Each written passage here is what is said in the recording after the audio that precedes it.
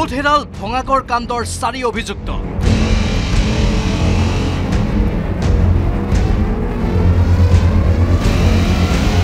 যুৱতীক অপহৰণৰ চেষ্টা আৰু হিট এণ্ড ৰাণৰ তদন্ত এতিয়া কোন দিশে? ভেলেণ্টাইন ডেৰ নিশা কোন আছিল বগা ৰঙৰ আই টেন বাহনত? নিউজ এইটিনৰ কেমেৰাৰ সন্মুখত হীৰকজ্যোতি পাঠক। এই মুহূৰ্তত মোৰ সৈতে উপস্থিত আছে সেই নিশাৰ মূল কাণ্ডৰ মূল অভিযুক্ত বুলি অভিহিত কৰা হৈছে।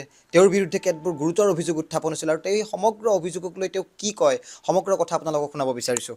হীৰক প্ৰথমে মই সুধিছোঁ যে তোমাৰ নামটো এই মুহূৰ্ততো চৰ্চাত আছে যে সেই নিশা তুমি সেই বিশেষ বাহনখনত আছিলা যিখন বাহন আৰক্ষীয়ে এতিয়া জব্দ কৰিছে আৰু তোমাক কোৱা হৈছে যে তুমি সেই নিশা তাত সেই বাহনখনত আছিলা। কি ক'বা সেই প্ৰথম বিষয়টো? চৈধ্য তাৰিখে নিশা মোৰ মই গোৱালপাৰাত আছিলোঁ আৰু গোৱালপাৰাত লগৰ এটাৰ বিয়া খাব গৈছিলোঁ দৰা দৰা পাৰ্টিৰ লগত।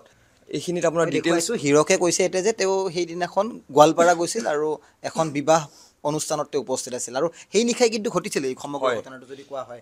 গাড়ীখন ডেৰ মাহমান মানৰ পৰা এই বৃন্দাবল ট্ৰেভেল ট্ৰেভেল বুলি ট্ৰেভেল এজেঞ্চি এটাত দিছিলে মানে মানে ভাড়াত। বৃন্দাবন ট্ৰেভেলছৰ অধীনত চলিছিল আই টেন বাহনখন। চৈধ্য ফেব্ৰুৱাৰীৰ নিশা কংকন তালুকদাৰে নিছিল আই টেন বাহনখন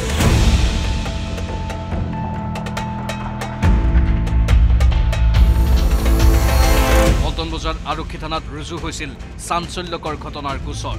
বেলতলাৰ কংকন তালুকদাৰক কিয় ধৰিব পৰা নাই আৰক্ষীয়ে?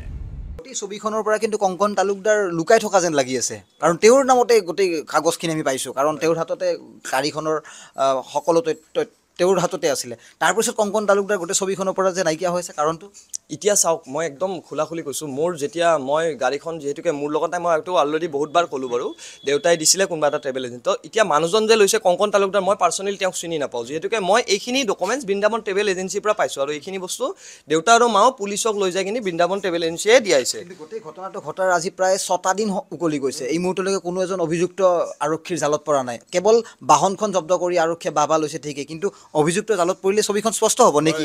সেইটো কংকন তালুকদাৰৰ সৈতে সেই নিশা আৰু কোন কোন আছিল?